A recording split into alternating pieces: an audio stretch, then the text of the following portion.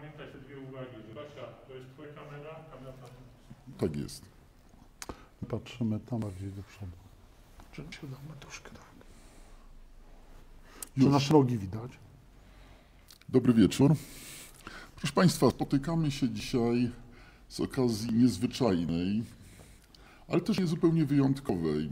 Tą okazją jest wydanie przez znaną poetkę, reportażystkę, felietonistkę, miał kiedyś koleżankę z łamu felietonowych Radia M, jeżeli można mówić o łamach w przypadku radia, z Barbarą Gruszką-Zych. Spotykamy się z okazji zwyczajnej, bo Barbara bardzo szczodrze obdarowuje nas swoją poezją. Obdarowuje nas swoją poezją i w tomikach wierszy, i w reportażach, niekiedy w rozmowach. Niekiedy wydaje mi się, że po prostu jest trochę jak Midas. Czego dotknie, to prawie od razu zamienia się w poezję.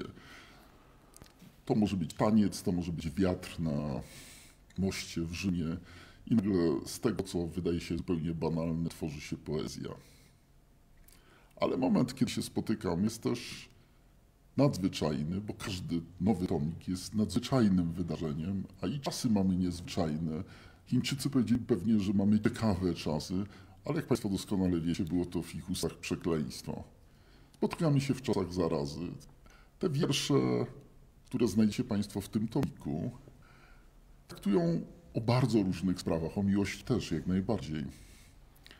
Ale to nie jest tomik o miłości w czasach zarazy. Ja oczywiście powinienem prze, przedstawić naszych gości. Myślę, że autorki przedstawiać nie trzeba. Barbara jest osobą powszechnie znaną. Natomiast mój przyjaciel, poeta, satyryk, redaktor Robert Milord Kowalski jest osobą może mniej znaną, ale to na pewno się zmieni. To ma być debata o poezji w czasach takich niepoetyckich, ale proszę Państwa, jakie tak naprawdę były czasy poetyckie? Takie debaty o tym, czy poezja jest możliwa po czymś tam albo w trakcie czegoś, one się powtarzają z nużącą regularnością.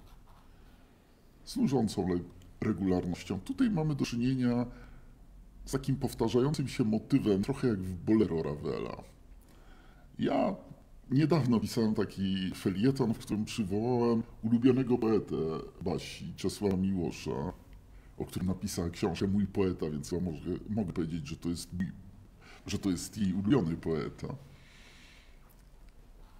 Jan tam pytał, czym jest poezja, która nie ocala narodów ani ludzi? To jest moje pierwsze takie wprowadzające do dyskusji pytanie. Co, ta, co ocala twoja poezja? Ocala te chwile jak cukiereczek, bo taki jest tytuł tego tomiku, mój cukiereczek. Ale to ocala jeszcze. Proszę. No tak, ten tomik narzuca wręcz takie y, skojarzenia, że pisze tylko o rzeczach no, takich cukiereczkowatych, czyli słodkich, które osładzają nasze życie. A przecież tak naprawdę jest tutaj, jak napisał Szymon Babuchowski, mój kolega z redakcji Gościa Niedzielnego, że jest to też poniekąd księga Hioba, którym zawsze tutaj jestem w tych swoich wierszach, bo jestem przy moich bliskich, przy moich bohaterach reportaży, przy ludziach, którzy cierpią.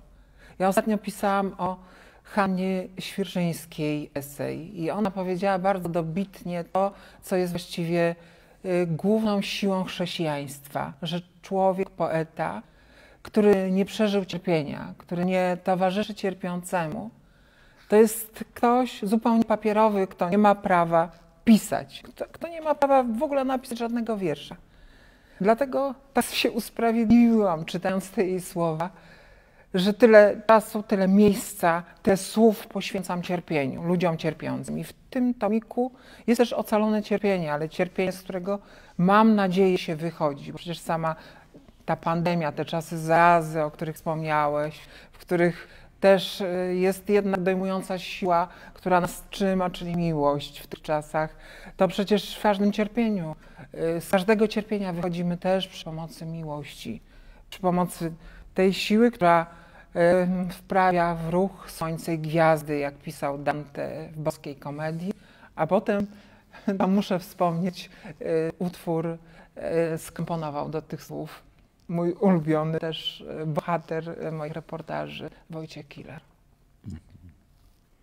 No cóż, e, ja mogę powiedzieć, że to cierpienie jest opisywane w tych wierszach w sposób taki no, trochę niezwyczajny dla poezji, trochę niezwyczajny i może nawet kłócący się trochę z tytułem Mój skiereczek, Państwo oczekujecie słodyczy, a tam się pojawiają słowa takie, o których y, w poezji naprawdę raczej cicho.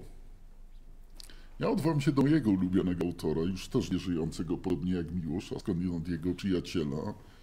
Myślę tutaj o Witoldzie Gombrowiczu, który powiedział, że nawet słowo gówno odpowiednio podane może być literaturą. Ja nie przypominam sobie, przyznam szczerze, wiersza innego niż ten, który przysłałaś internetem. On jest w tym tomiku, ale ja go czytałem wcześniej. Słowa śmierdzi. I to jest bardzo mocne, bo o cierpieniu mówić w sposób lukierkowy to byłoby może zbyt łatwe. Jeżeli chodzi o przeżycie cierpienia, to każdy, kto o tym opowiada w sposób zupełnie e, odlepiony, taki jak ktoś mówił 5 centymetrów nad ziemią, to znaczy, że tak naprawdę nie było żadne cierpienie. No tak, ty wspomniałeś o wierszu y, Kawałek Nadbrzeża, gdzie pojawia się słowo nie tylko o smrodzie, ale o kale, że Chrystus to cierpiący na krzyżu, zawsze odnoszę, to mi się wydaje, że to jest bardzo ważne, żeby odnosić y, cierpienie człowieka do cierpienia Chrystusa, bo wtedy tylko ono ma sens, że Chrystus na krzyżu pisze się o tym, że cierpiał, że był zlany potem, że cierpiał męki, krew wylewała się z boku, z, ze skrwawionych skroni y, koroną cierniową prze, przebitych, ale przecież Temu cierpieniu towarzyszył też kał. Ja to przeżyłam ostatnio, kiedy opiekowałam się moją ciocią Gabrielą, która nagle z powodu COVID-u znalazła się w takiej sytuacji dziecięcości. Trzeba było zmieniać jej pieluchy, karmić strzykawką, czyli tak pielęgnować jak niemowlątko. I tam y, przy tym zmienianiu kolejnej pieluchy pomyślałam, że ten no, zapach kału, który my uważamy, że jest taki straszny, który się chowa gdzieś, wyrzuca te pieluchy, ale przecież on jest obecny w literaturze nie po to, żeby bulwersować, nie po to, żeby tam śmierdzieć, ale po to, żeby prowokować nas do wyobrażenia sobie dramatu tej sytuacji, w której znajduje się każdy człowiek cierpiący.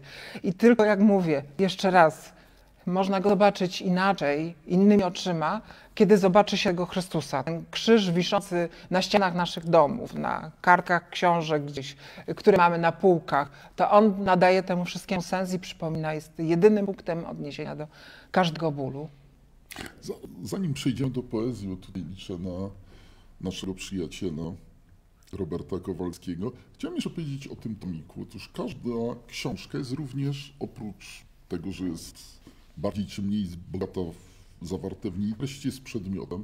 I to jest bardzo ładny, piękny przedmiot, który, no, jak każdy przedmiot, coś kosztuje.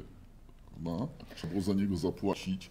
Ja myślę, że to jest dobry moment. Ja chętnie powiedziałbym to wszystko sam, ale ponieważ nie mam okularów, więc oddam głos poetce. No tak, bardzo chciałam podziękować y, tym, którzy pochylili się nad tym tomikiem y, finansowo i jako patronat medialny, patroni medialni, a więc mojej rodzimej redakcji, y, gościa niedzielnego, y, TVP Kultura, do rzeczy, ale też i Instytutowi Literatury, a także mojemu miastu Czelać i dziękuję za patronat honorowy Muzeum Saturn. Właśnie w mojej Czeladzi, to jest miasto niedaleko Katowic, najstarsze miasto Zagłębia Dąbrowskiego. A to wydało wydawnictwo Ursines, mój cukiereczek, jeszcze raz przypomnę. Tak. Y, Ja mam wiele ulubionych tekstów w tym tomiku i znałem Ja je nawet wcześniej. też. Znałem je nawet nieco wcześniej niż się w tym tomiku pojawiły. E, I przypominam sobie taki wiersz Miłosza, jak to siedzi z Turowiczem w kawiarni w Rzymie. U ciebie nie ma kawiarni, jest most. Ja poprosiłem Roberta, żeby przygotował ten wiersz właśnie, więc zacznijmy może od niego. Robert dobrze czyta wiersze, Tak. więc jestem znaczy, szczęśliwa, Ja że nie wiem, go czy ja usłyszeć. dobrze czytam, ale ja lubię czytać. Lubię czytać wiersze nie tylko twoje, przepraszam, ale y, Wielokro- wielokrotnie słyszałam e, Twoje wiersze. Zresztą, proszę Państwa, Robert nosi w swojej torbie teczce e, wiele tomików wierszy tak na co dzień. To jest taki nietypowy człowiek, który dźwiga teczkę z książkami. Taki mój krzyż. Taki No to No. jeżeli krzyż. Święty Natomiast, człowiek. natomiast wracając do prośby Krzysia, ja może przeczytam pierwszy wiersz, e, pierwszy niekoniecznie w kolejności, ale wiersz, który jest bardzo ważnym wierszem w tym tomiku. Na moście w Rzymie stałam. Jak pięknie wiatr rozwiewa włosy na starych mostach łączących wyspę z lądem, cierpliwie zezwalających deptać po sobie, swoim i przybyszom tysiącami podeszw bardziej lub mniej wytartych przez cierpliwych, wiernych przemierzaniu ziemi, mosty dobre, miejsca spotkań dla wydobytych spod lawiny wieków i dzisiaj urodzonych, próbujących zrozumieć, jak się przechodzi z roku w rok, z sekundy w sekundę, przez wąską kładkę czasu, która jak woda pod mostem, uzdrowicielka pamięci, pokazuje nam wiecznie nową twarz, nad którą płyną moje rozwiane włosy. Proszę Państwa, ja tak sobie pomyślałem, że czytałem gdzieś, że te wiersze Basi z sobą korespondują. I ja widzę tę korespondencję, ale poprosiłem Roberta o przeczytanie tego akurat wiersza jeszcze z innego powodu. Otóż ja znam jego wiersz poświęcony, dobra, umiejscowiony w Spicie w pałacu Dioklecjana, który ma tak bardzo podobnie brzmiące rytmy, które pokazują drogę do pałacu poezji. Już nie Dioklecjana, tylko poezji. Jestem, tak, jestem fanem tego wiersza y, Roberta, jestem fanem wiersza Basi. To była pierwsza taka jak gdyby zachęta do tego, żeby poszukać czegoś w świecie, w którym jest sama poezja, chociaż jak wspomniałem, nie jest to poezja lukierkowata i z tego punktu widzenia oczywiście ktoś, kto kupiłby i zaczął czytać y, tomik zatytułowany Mój cukiereczek, to znajdzie tam rzecz jasna słodycz, znajdzie miłość i tak dalej. Natomiast znajdzie też tam całą masę doświadczenia życiowego, które w naturalny sposób, czy się tego chce, czy nie chce, e, odżywa wtedy, kiedy się te wiersze czyta. Ja mam takie pytanie, Asiu, do Ciebie. Jesteś, jest, tak się składa, że ja od bardzo wielu lat znam wielu ludzi, którzy parają się piórem. Niektórzy z nich to poeci. Ja sam, że jestem tutaj wyjątkiem, ponieważ nigdy nie napisałem żadnego wiersza. Nie jestem jakimś specjalnym amatorem poezji w ogóle. Yy, Trochę mnie przerażają ludzie, którzy czytają poezję w takim trochę produkcyjnym sensie. To znaczy myślę tutaj o literaturoznawcach, którzy muszą zarejestrować każdy, każde drgnienie poezji na młodym i niemłodym rynku poetyckim. Ale z tych wszystkich ludzi, których znam, którzy, mówię, parają się piórem, poetów, poetek i tak dalej, których znam bezpośrednio, ty jesteś osobą w jakiś sposób y, zupełnie wyróżnioną i nie wiem, czy ci to wyróżnienie jakoś specjalnie będzie schlebiać, ale chcę o nim powiedzieć. Chcę powiedzieć, że ja nigdy nie spotkałem osoby, której by, która by obejmowała dwa takie bieguny. To znaczy, z jednej strony zupełnie nieprawdopodobny egocentryzm. Nigdy nie spotkałem kogoś, kto byłby tak egocentryczny jak ty. A z drugiej strony nieprawdopodobna otwartość, empatia na innych ludzi. E, Każda z tych cech pojedynczo może wyglądać, pierwsza powiedzmy nie najlepiej, druga może wyglądać tak trochę no świętobliwie, w tym dobrym sensie, ale powiedzmy na dłuższą metę godne to na pewno chwały, ale z całą pewnością nie zaciekawienia. A mnie, to rozpię... a mnie ta rozpiętość pomiędzy jednym a drugim właśnie bardzo interesuje. Powiedz coś o tym.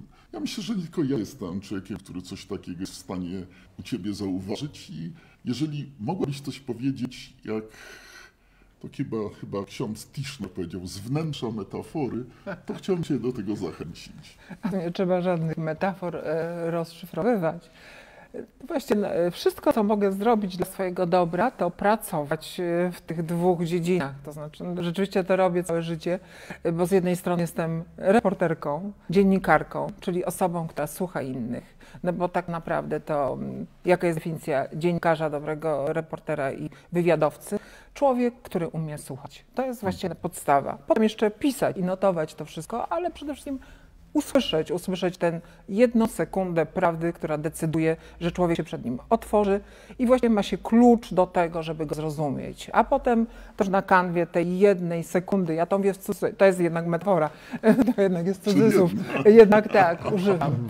I, I to jest właściwie niezwykle wyczerpujące, bo wyobraźcie sobie Państwo, no, trzeba, żeby zrozumieć drugiego człowieka i usłyszeć tę jedną sekundę prawdy, trzeba spędzić nie tylko godzinę, ale dwie, trzy.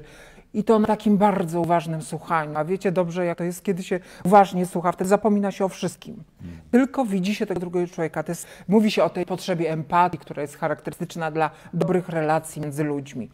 A tutaj to już jest po prostu y, sytuacja idealna dla tego, który, którego słucham, bo ja jestem tylko na jego usługach, dlatego często nazywam się nie dziennikarką, tylko służącą w pisaniu. Natomiast jeśli chodzi o poezję, no tak, to Mąż mówił, że człowiek, który pisze, który siedzi przy tych swoich wierszach, jest stracony dla świata. Że właściwie bierze udział potem tylko w turnieju garbusów, którym jest literatura, ale tak to siedzi w tej celi, w, tej, w tym klasztorze kontemplacyjnym i gapi się w siebie. Lustereczko, powiedz przecie, kto jest piękniejszy, najpiękniejszy na świecie. No, odpowiada sobie, że on, bo bez tego nie napisałby tych słów, które mają bezcenną wartość dla niego, a potem i dla innych. Tak to jest. To jest takie, taka magia, takie czary mary. Ale i godziny przy piórze, jak pisał Grochowiak, one leczą rany. Nawet Śmierć jest daleka, jak była w dzieciństwie, więc to też jest jeszcze inna sprawa, inna odsłona tego bycia ze sobą sam na sam. I ja tak mi się w życiu udało, mam tę możliwość, że praktykuję i tę, i tę stronę pracy w słowie. Ja kiedyś powiedziałam słowie i ktoś się śmiał, że w słowie powszechnym, bo wtedy jeszcze takie, takie pismo wychodziło. Ale to słowo powszechne też było. No tak, całe życie piszę, zajmuję się tym słowem zwyczajnym. Niektórzy do, twierdzą, że moje wiersze też są zwyczajne. Trafiasz do mnóstwa czytelników, jest to słowo powszechne. E, ja e, jakby odbijając troszeczkę w inną stronę, e, w Twojej poezji znalazłem jeszcze mnóstwo innych klimatów i warstw. Swego czasu, kiedy wyszedł tomik tu wydany przez przez gościa niedzielnego. Cudna książka Koszula przed kolana, tak dla przypomnienia. E, tym, którzy nie znają, ale naprawdę gorąco polecam. E, ta koszula przed kolana i wiele innych wierszy w poprzednich tomikach i w aktualnych, najnowszych pokazują Ciebie z, z wielu stron. Czy z jednej strony mistrzowsko poruszasz się pomiędzy poezją duszy a poezją ciała. Pojawiają się cudne klimaty erotyczne. E, koszula przed kolana od razu mi się skojarzyła z dziewczyną, która e, rano zrywa się z mojego łóżka, wrzuca na siebie moją koszulę i biegnie do łazienki. I to jest ten ciepły, to cudny moment. Nie, nie wiem, ale myślę, że nie jestem jedyny, bo mężczyźni patrzą y, w podobny sposób. E, to jest cudne. No, e, ta koszula też mi się skojarzyła od razu, pamiętają wszyscy przepiękny przebój Chrisa de Barga Lady in Red. Więc ja od razu pomyślałem Lady in Shirt. E, I te wiersze, one niebywale płynnie przechodzą od właśnie tych klimatów takich codziennych, cielesnych wręcz powiedziałbym, do klimatów duszy, do przeżyć wyższych, tak jak je nazywamy. To są przecudne e, chwile i myślę, że twoi fani czują taką pełnię człowieczeństwa w tej poezji, bo dotykasz ich duszy i dotykasz ich ciała. Oni mają tak zwany goosebump, jak mówią Anglicy, podnoszą mi się włosy na, na dłoniach, plecach, ramionach, e, klatce piersiowej i tak dalej, kiedy czytają pewne ty? rzeczy, a z drugiej strony mogą wręcz padać na kolana przed nie tylko sformułowaniami, które zamieszczasz w wierszach, ale przed faktami, które przed nimi odkrywasz, faktami myślenia w sensie nawet religijnym. Bardzo Ci dziękuję, że wspomniałeś o duszy, bo ja się przez Od całe lata, całe lata mojego pisania dopominam o istnienie duszy. Kiedyś jak wypisywali mnie ze szpitala, to napisałam taki wiersz, którego nie przytoczę teraz Państwu dokładnie, ale chodziło o to, że w tej karcie wypisowej w ogóle nie wspomniano o stanie zdrowia mojej duszy. Głupstwo, bo to sprawa najważniejsza. Tak naprawdę wszystko kręci się w życiu, tak mi się zdaje, na tym świecie Bożym wokół duszy. I w tym tomiku, który teraz e, mam w ręku i Państwo, e, też ta dusza jest sprawą najważniejszą. Ona tak chciałam, żeby prześwitywała przez te linijki tych wierszy, nawet wtedy, kiedy nie pada tam, kiedy nie pada tam to słowo, kiedy nie wymienione jest, kiedy nie mówię dusza, ale ona jest. Chciałabym na koniec też przeczytać taki jeden wiersz. Właśnie koniec. duszy. Nie, Em, jeszcze nie koniec, ale na koniec. A, pro, Bo- a propos duszy, a propos duszy, jestem właśnie po lekturze, nawet mam ze sobą tę książkę, to są przebłyski y, mojej ulubionej pisarki. Ja generalnie nie lubię kobiet piszących, nie jestem zwolennikiem. E, nie, jesteś absolutnie wyróżniona. Zadie Smith jest w tej samej ławeczce, w pierwszym rzędzie jest razem z tobą. E, co prawda ona jest prozaiczką, ty jesteś i prozaiczką, i poetką. Natomiast Przebłyska, które napisała teraz ostatnio, w czasach COVID-u, e, powrzucała tam bardzo różne swoje cudne e, myśli, ale też, też wrzuciła parę fajnych cytatów i między innymi taki jest bardzo fajny e, w przybłyskach cytat z Tracy Chapman. Tak dla przypomnienia, dla tych, którzy nie wiedzą, Tracy Chapman to jest cudna piosenkarka amerykańska, która w 80, bodajże 9, 8, 9 zrobiła potężną światową karierę. Ja miałem przyjemność, kiedy wylądowałem w Londynie pierwszy raz w życiu e, w 89 roku. Pierwszy koncert, na który trafiłem, to był koncert Tracy Chapman e, w Royal Albert Hall i, i byłem zauroczony oczywiście, z, mimo że znałem już piosenkę z radia, z telewizji, czy piosenki jej, repertuar pierwszej płyty y, powszechnie był znany wówczas.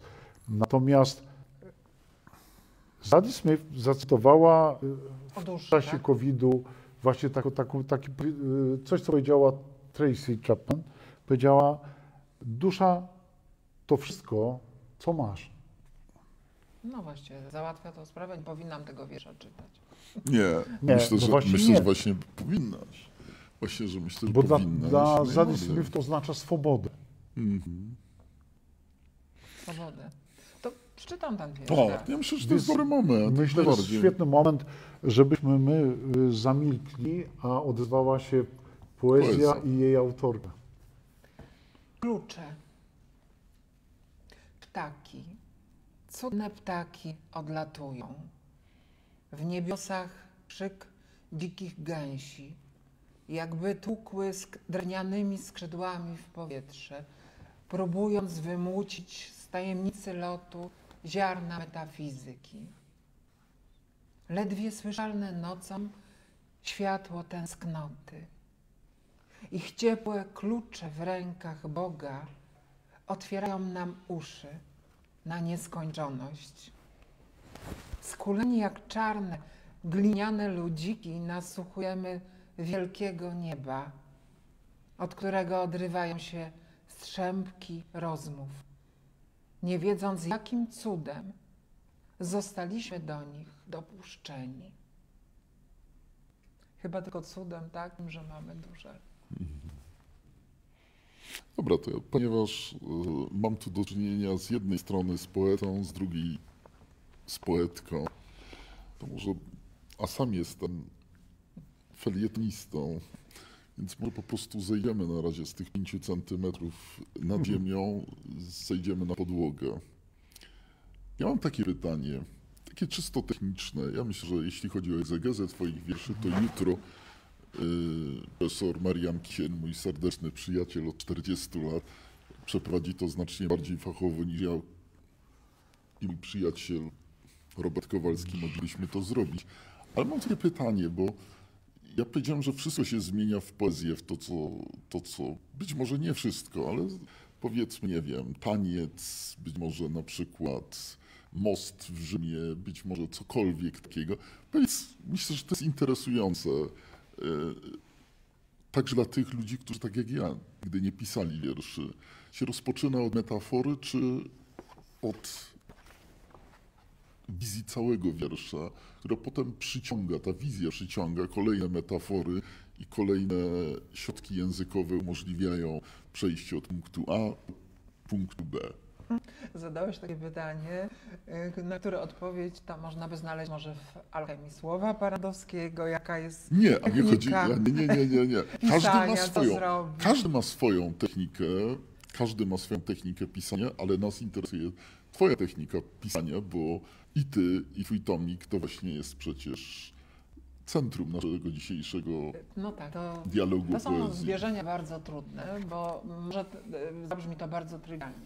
Y, Te wiersze pandemiczne pisane w tym roku były zapisane na telefonie. Siadam, wyjmuję telefon i notuję. To Mhm. właściwie przez pierwszy czas pandemii, kiedy też miałam jeszcze złamaną rękę i taką jakąś niemożliwość pisania, starałam się codziennie praktykować je, mimo wszystko. I tak powsta- powstawały te wieże pandemiczne, wbrew wszystkim, wbrew tym moim ograniczeniom. Natomiast jak, jak piszę, to często to jest jakiś jeden błysk, to jest jedna linijka. Czasem układają się ca całe i to jest coraz częściej tak się zdarza i wtedy jestem bardzo szczęśliwa, bo nie tracę na nie dużo czasu, bo one się po prostu zapisują. No tak jak mówiła Świerszyńska, którą jeszcze ciągle żyje, y, że poeta jest jak taka antena wyłapująca. W czasie pandemii to czułam namacalnie, że rzeczywiście tak fizycznie pewne nastroje, pewne y, gwałtowności, rozpaczy ludzkie tak docierały do mnie i ja byłam zmuszona wręcz, to jest taki imperatyw kategoryczny, o czym powtarzam, je zapisać.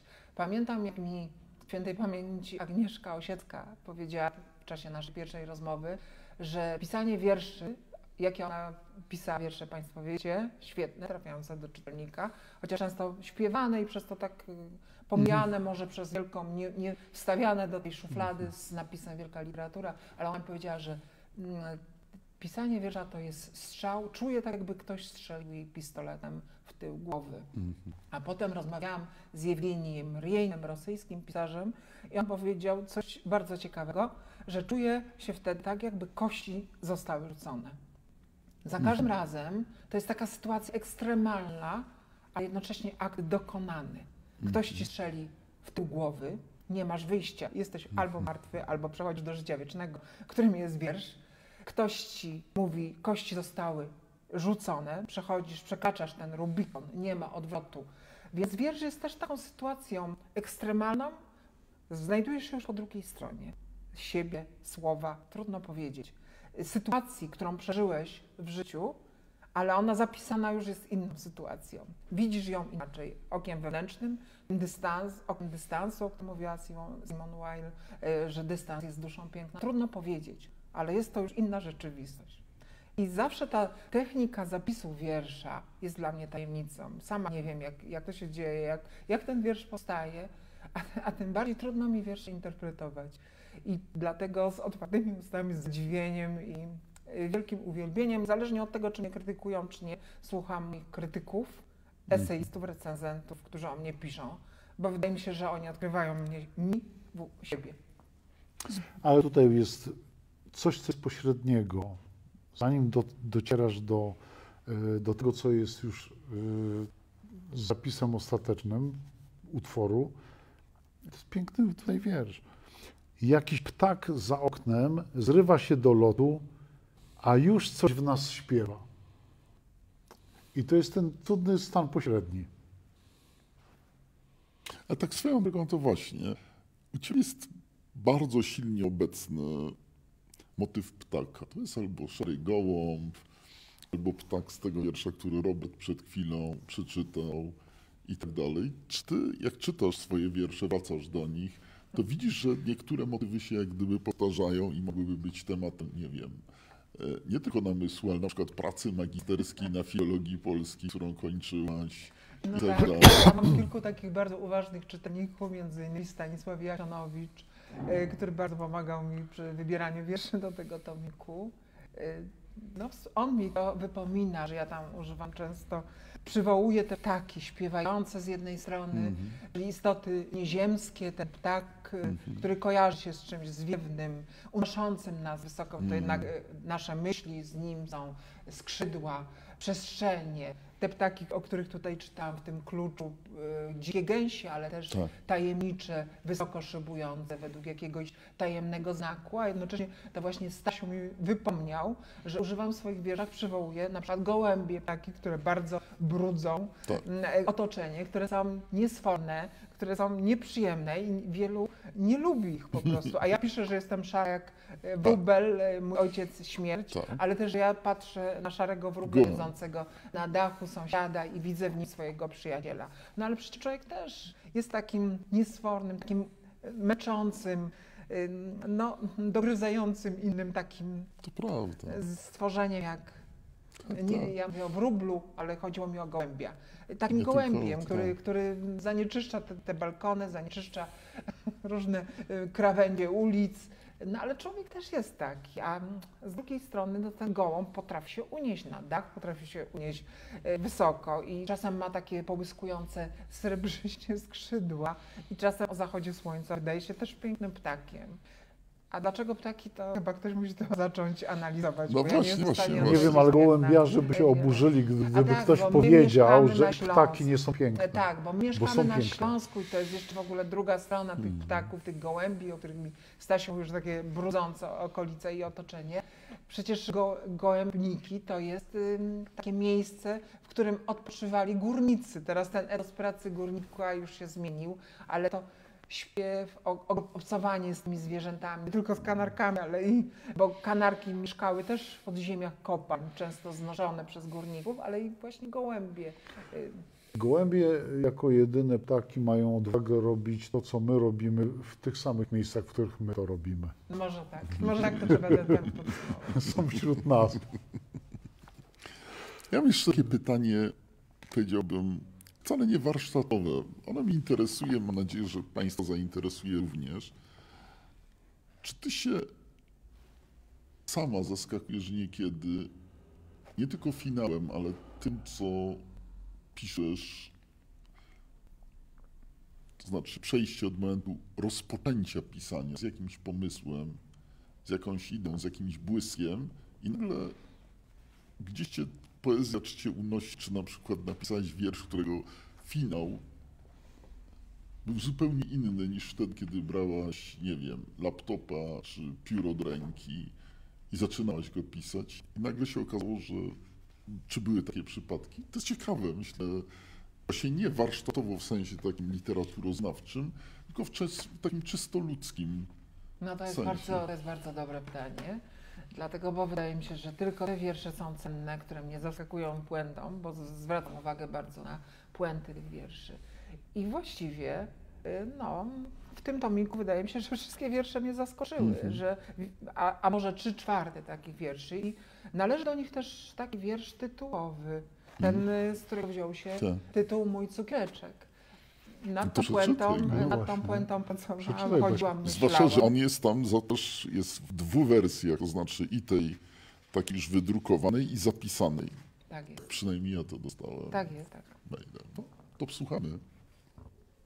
Cały ten świat, co pozostał i ten, co zginął, w połowie obecne, powtarzający się smak owoców i zdarzeń, gorzki smak życia, a w krótkich chwilach ty, mój cukiereczek. To jest, przy okazji warto może podkreślić, jest to pochwała monogami, bo zwykle cukiereczki nie chodzą samotnie. Zwykle dostajemy jakąś torebkę cukiereczków, a tutaj jest ten jeden cukierczek, więc myślę, że jest to świadomy No. zabieg poetycki. Wydaje się, że, Oderwał się od stada. że tak, że Oderwał się od Jeżeli stada. poświęcasz uwagę komuś jednemu, czy to będzie ten śpiewający, czy to będzie człowiek, to wtedy to ma sens. To wtedy rzeczywiście jest to uwaga pełna i ostateczna, bo na taką nas stać. Tak. Ja teraz pisałem taką rzecz zupełnie na inny temat.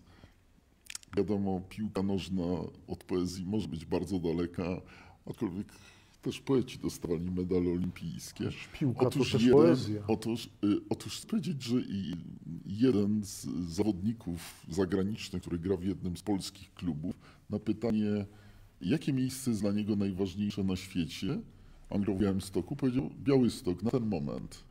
Czyli no, w zasadzie to jest tak, że jak gdyby tak, on też był w jakimś sensie monogamiczny, z tym, że jego przywiązanie do Białego Stoku było od razu określone i ograniczone czasowo. To znaczy, że jeżeli następny kontrakt dostanie na przykład gdzieś tam w Sofii czy gdzie indziej, to Sofia będzie jego y, najważniejszym miejscem na świecie. No, a, mógł, a mógł uniknąć, mówiąc, że jego miejscem jest boisko. Mógł, mógł, ale, ale nie był.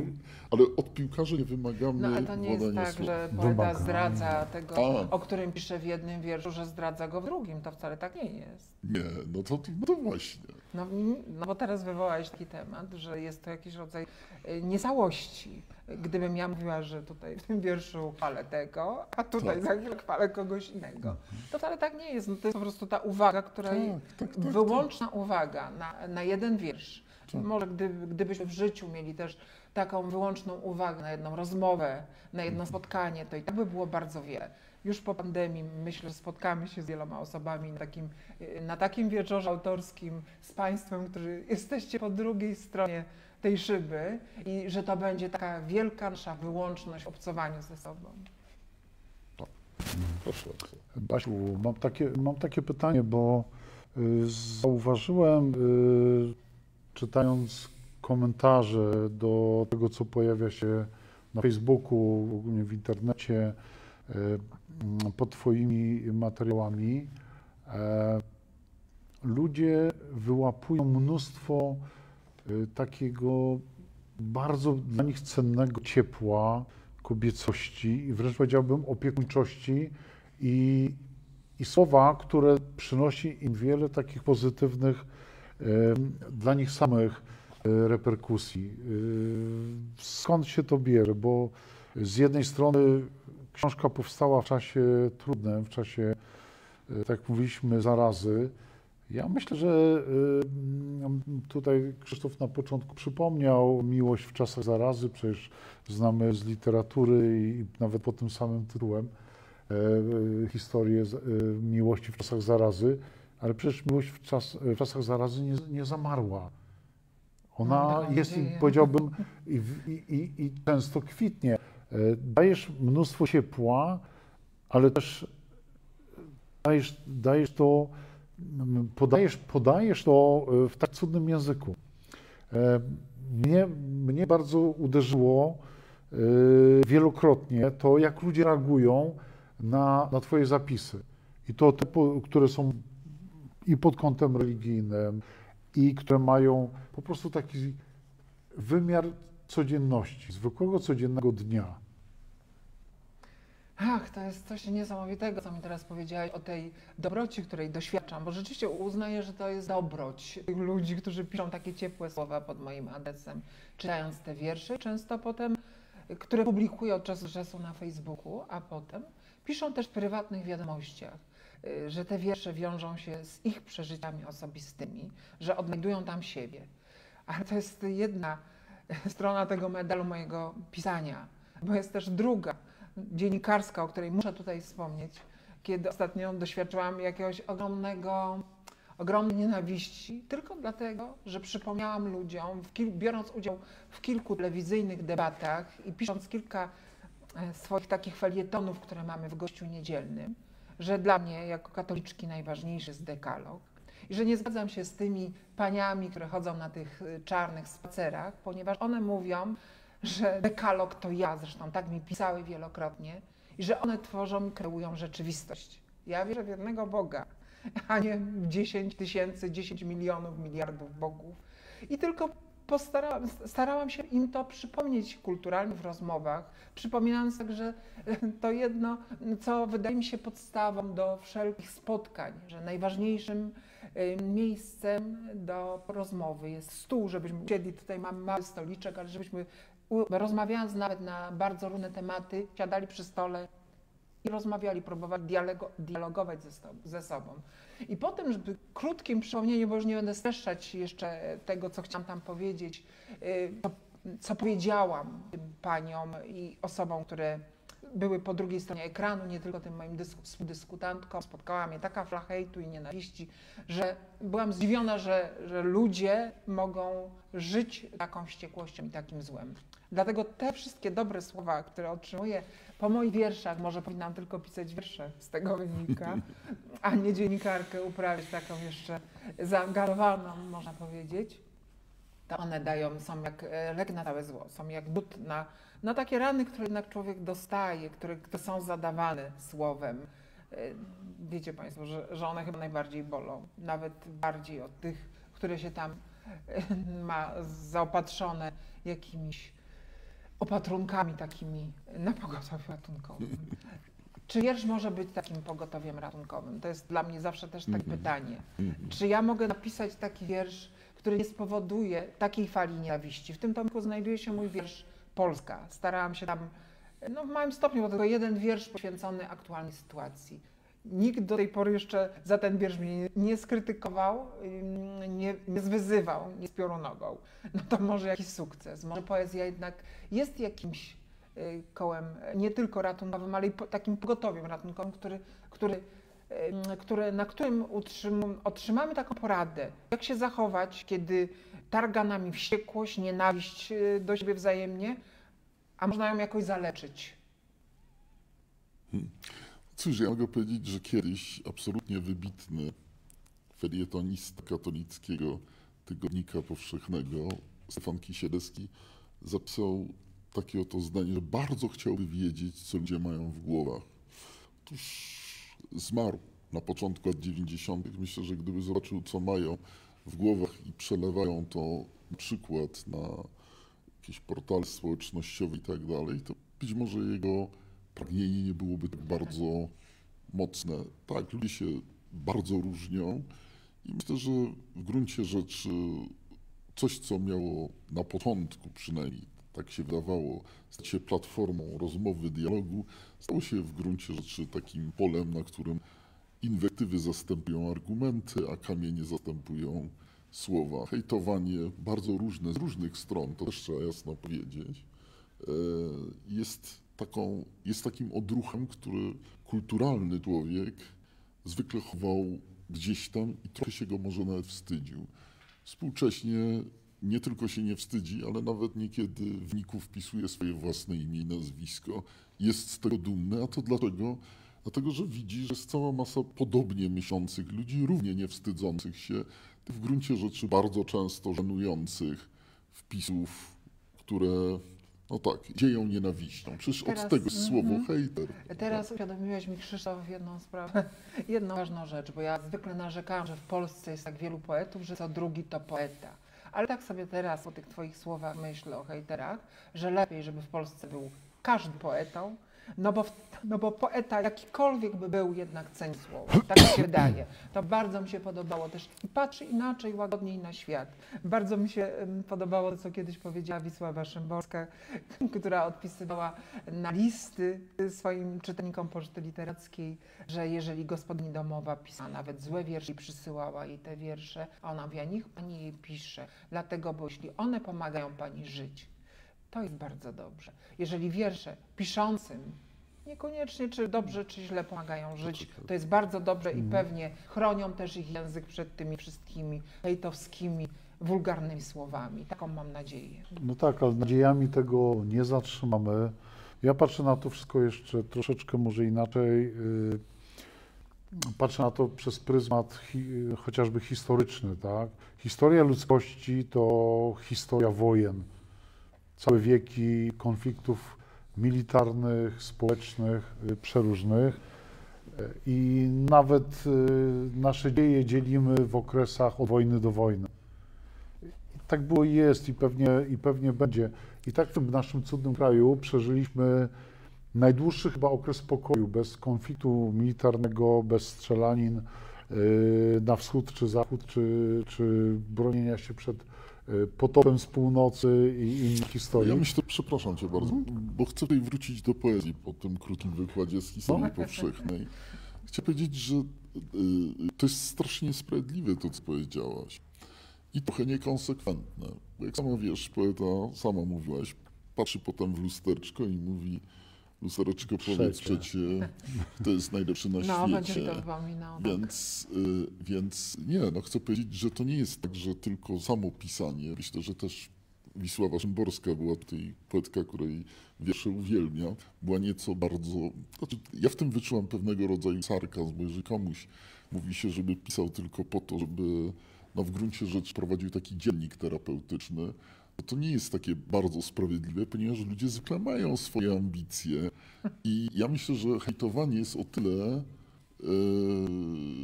naturalnym odruchem, nie chcianym, ale naturalnym, bo jest po prostu dziecinnie proste. Natomiast y, pisanie wierszy nie jest czymś prostym. Jeżeli ja powiedziałem, że nigdy nie napisałem żadnego wiersza, to dlatego, że po prostu wiedziałem, że nie umiem tego zrobić. No tak, masz rację. To rzeczywiście pisanie wierszy nie jest czymś prostym, ale nie wszyscy zdają sobie sprawę z tego, że, że tak jest. Tak, I no. te panie y, pewnie, o których mówiła, do których zwracała się Wisława Szymborska, to były panie, które zdawały sobie sprawę, że trzeba doskonalić, że to jest trud pisania, że, że to jest ciężar pisania, że, że to się niesie, że to się z tym zmaga, że to jest walka. Y, Ja, ja o nich teraz źle nie mówię bynajmniej, bo każdy ma inne podejście do, do tego, co robi, do pisania właśnie, bo jeżeli dla nich było powołaniem no, gotowanie obiadów, y, które no, czasem mi nie wychodzą i coś o tym wiem i wiem też, jaki to jest trud gotowania na przykład, nie? No też, tak, też jestem pełna podziwu dla gotujących. Basiu, ale kiedyś hejtowanie odbywało się inaczej, tak? Nie było takich narzędzi. Dzisiaj ym, zupełnie ym, każdy ma dostęp do tego, żeby No, e, anonim, każdy- anonimowo tak, tak, wylewać z siebie żółć. Ale każdy też ma dzisiaj dostęp do pisania poezji. I te- ty Zawsze naprawdę to- możliwość to, co- pisania poezji to, była zawsze. Tak, ale Póki teraz każdy miał pióro i miał to w czym je zamoczyć. Tak, tylko że teraz można to robić na tak wielką skalę i docierać z tym wierszem i niekiedy mówić innym, że on jest taki bardzo dobry. Ja niestety nie mam takiego przekonania, że piszę dobre wiersze. No tak, ale I jest to mój problem, ale może dlatego na wydaję pewno poezja, na pewno poezja nie zmiecie hejtu, ani hejt nie zmiecie poezji. Więc y, konflikty społeczne czy szersze y, trzeba rozwiązywać inaczej. Trzeba zacząć mówić o A dobrym poezja jest smaku. troszeczkę lustrem. Tak, ja myślę, Trzeba przepraszam mówić o dobrym smaku. To jest, to tak. jest y, znaczy ja mogę powiedzieć tak, że y, dla mnie, która bardzo wielu takich wpisów internetowych i to właśnie tych najbardziej wulgarnych, hejterskich, jest swoistą terapią, to znaczy ja w tym momencie staram się tym bardziej umiejętnie dobierać słowa i tym bardziej czuję wstręt do tego, do tej dosłowności, która wielu pewnie tym ludziom wydaje się odwagą, y, i na dodatek oryginalną odwagą, kiedy takie spojrzenie socjologa łatwo wychwyci powtarzalność pewnego rodzaju schematów, a nawet całych zestawów zdań, słów i tak dalej. To nie jest przypadek, że na przykład ludzie, którzy piszą w internecie, bardzo często odsyłają swoich interlokutorów do psychiatry. Prawda? To jest Tak, to jeden z tak. najczęściej spotkanych y, powodów i to jest poważny problem, ponieważ no, być może poezja jest czymś takim, co jest w stanie jak gdyby nakierować świadomość człowieka na coś, co jest istotne i co posiada jakąś wartość nie artystyczną. Tak, ale coś, estetyczną. żeby coś, tak, piękno, piękno, Tak, o którym to- cały czas mówimy. tak. To może znalazłem- przeczytaj coś, co dla odmiany. tak, właśnie chciałam przeczytać prozę. Ten tomik składa się też z takich pruz krótkich, Mm. zapisków, prozy poetyckiej. prozy. No, jeśli poetycka będzie, to cieszę. Może to będzie Czytałem, tylko wiem, proza, czytałem, proza wiem. życia. Ale to jest kawałek, fragment o tym, o nas, o mnie też, jak siedzę w domu w czasie tej pandemii, zamknięta, y, zniewolona trochę tym zamknięciem, jednocześnie bardzo, bardzo samotna, bo cokolwiek bym mogła powiedzieć, że jestem otoczona kochającą rodziną, y, której dedykowałam tej, tę książkę oprócz przyjaciół, bez której nie udałoby mi się nic, to jednak kiedy nie wychodzi się z domu, tak jak teraz my wszyscy, to ta samotność objawia się w jeszcze innym wymiarze. Więc może taki jeszcze fragment tej prozy. Światło się pali w tylu oknach nocą. Ogniska dzikich, niezgaszone przez tysiące lat. Podłogi i sufity odbijają blask tęsknoty przepływającej przez oczy i ekrany telefonów. Mięsa marzną w lodówkach, nabierają rumieńców w piekarnikach, ale tak naprawdę nie o upolowaną zdobycz chodzi. Głód budzi ich w biały dzień, kiedy tylko sikorka stukająca w okno jest przyczyną istnienia słoniny. Głód, z którym zaczynają grać, zapominając, że rozdaje znaczone tłustymi palcami karty. Chcą czy nie, przegrają z nim zawsze głodni drugiego. Błękitne twarze Samsungów i Maków pozwalają na wszystko, dopóki nie porażą ich zimnym piorunem nieobecności.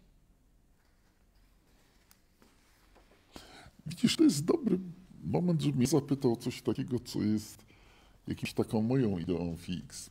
Otóż dla mnie poezja ma w gruncie rzeczy znacznie szersze znaczenie niż wiersze. Przeczytałeś fragment prozy, która jest nasycona poezją, ale są takie przypadki, na przykład Borges jest przypadkiem takiego pisarza, którego opowiadania są przesycone poezją, a kiedy usiłuje wydać jakiś tomik wierszy, to okazuje się, że najlepszym sposobem na jego sprzedanie jest przetykanie go fragmentami opowiadań i wierszy, bo wiersze, tak, coś, co w takiej wersji, powiedziałbym, no taki soft powiedzmy, jest czymś wspaniałym, bo jego opowiadania są naprawdę dla mnie czystą poezją. Takie panowanie nad słowem, taka umiejętność dobierania celnych metafor niekiedy i tak dalej, że to jest coś wspaniałego. No właśnie, to powiedz, jak się pisze prozą, a przecież piszesz prozą, no to co się dzieje z tymi, co się dzieje z tą swoją częścią, która jest czystą poezją? A ja czuję się no jak y, na tej leżance psychoanalityka w tym momencie jednak. No, no myślę, że tak, no. Ludzie z sobą rozmawiają, między innymi yy, Wiesz, w Nowym Jorku trzeba zapłacić więcej, chcę ci powiedzieć. Ja, ja chyba jednak y, musiałabym Tobie zapłacić za odpowiedź na mój temat, jako znawcy mojej osoby, dlatego, ponieważ to jest y, sprawa zbyt skomplikowana. Ja rzeczywiście rezygnuję czasem y, z tego, żeby to zostawić jako wiersz w zapisie takim stroficznym Mm. i zamieniam to w prozę. Ale tak naprawdę mm, to jest sytuacja bardzo niebezpieczna dla Mm. dzisiejszego piszącego wiersze, bo ja mówię o sobie piszący wiersze z księdzem Janem Twardowskim, który zawsze mówi, że poezję poetą się bywa, żeby nie nadużywać tego słowa, że on pisze wiersze, że jest tylko skromnym zapisywaczem, tak jak ja ciągle mówię o sobie w dziennikarstwie, że jestem skromnym, służącym em, dziennikarzem, to tutaj Jestem też czasami piszącym autorem tych wszystkich wierszy, ale to jest sytuacja dlatego niebezpieczna, bo mm, jaka jest różnica między prozą a poezją? Wiadomo, że po Różewiczu to już y, no, poezja przestała istnieć. Po II wojnie światowej poezja przestała istnieć. I dlaczego my jeszcze podtrzymujemy ten zapis stroficzny? Dlaczego my jeszcze y, mamy taką nadzieję, że to są wiersze, że to jest ta liryka, która jest do śpiewania, tak jak kiedyś, przecież po co była liryka? No po to, żeby ją znać na pamięć, żeby chodzić od miasta do miasta i powtórzyć strofy grane na lirze i przekazywać tą prawdę słodką dla ucha i duszy i serca, albo też tragiczną o losach przemijających ludzi w nieprzemijającym świecie. Miejmy nadzieję, że nieprzemijającym świecie, że ten wirus tego świata nie zniszczy i nie zniszczy tego wszystkiego, co dobre i w nas i piękne e, w czasie tej pandemii. Czy my mamy dzisiaj jeszcze złudzenie, że piszemy poezję? Czy właściwie piszemy tą prozę, którą ja tutaj zanotowałam, tak e, e, tylko na niektórych stronach, a na innych napisałam, że to wiersz. Czy to wszystko jest prozą już? To jest pytanie otwarte. E, Na ten temat mógłby coś też powiedzieć Mań Kisiel, z którym jutro będę rozmawiać, a który pisze świetne takie krótkie prozy, które są dla mnie poezją. Ale to jest bardzo niebezpieczna sytuacja. Gdzie jest jeszcze wiersz i czy jest jeszcze wiersz tam, gdzie się pisze prozę? I czy proza jest też wierszem? Czy to może jest nowy rodzaj wiersza? I tak powinniśmy pisać wiersze prozą, bo właściwie każdy i tak czyta je tak, jak chce. Co jest właściwie tym, co tworzy poezję? Może ty, jako człowiek, który nie pisze, mógłbyś na to odpowiedzieć. Co, co tworzy poezję? Co jest właściwie. y, Tak? tak? Nie, to ja powiem. Ja powiem, mam teraz No, taką no, no, chybotliwą to będzie hipotezę. Otóż poezję tworzy efekt zderzenia tego, co pisze ktoś, ktoś piszący, z odbiorem tego, kto jest nie nawet wirtualnym, kto jest empirycznym odbiorcą tej poezji. I na styku tego tworzy się tak naprawdę poezję. Jeżeli nie, to to jest, no, dzieło jest, powiedziałem, napełnione w jakimś sensie. I Czyli podam taki przykład. I podam taki przykład specjalnie z bardzo odległych czasów.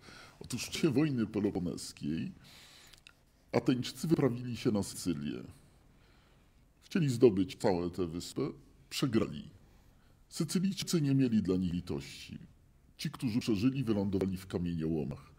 Przeżyli tylko ci, którzy znali Eurypidesa, ponieważ yy, Sycylijczycy byli zakochani w Eurypidesie.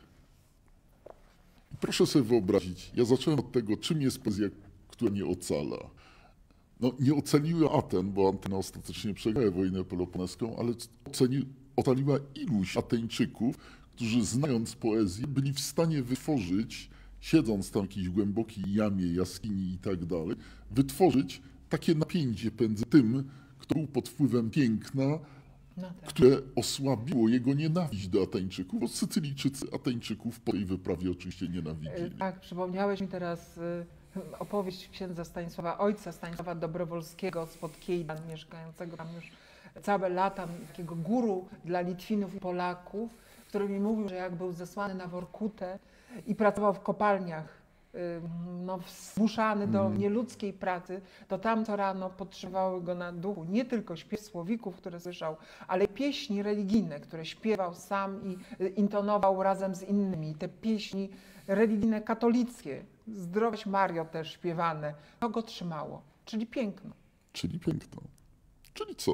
Dochodzimy do No, tego. a poezja tak, nie zamarła. No kochani, przecież nie możemy mówić o tym, że y, poezja się zamienia w prozę, czy odwrotnie. No, istnieje proza poetycka. Justyna Bargielsa pisze kapitalną prozę poetycką.